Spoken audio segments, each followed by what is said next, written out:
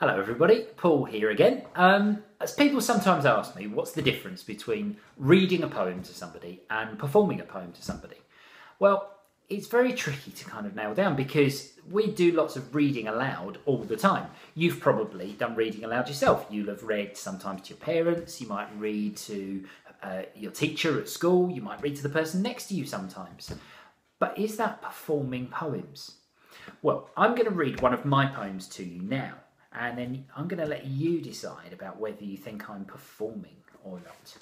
The poem I'm going to read is My Bottom Did a Burp in Class, which is the title poem from my new book. My bottom did a burp in class. My bottom did a burp in class. A big one, really loud. Everybody heard it too. It made me really proud.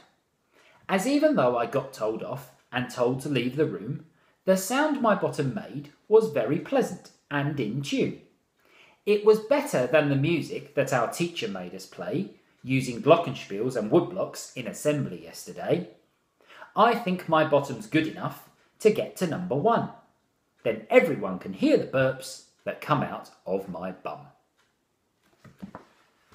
Now I hope I read that quite well I think I was loud enough and I think I was quite clear, and hopefully I put a little bit of expression into my voice when I was reading.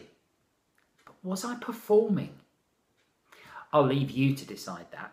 Have a chat about it with your class. Now, if you want to see how I think I would perform that poem, then you need to go and have a look at another one of my YouTube videos on my channel. I'll leave you with that. See you soon.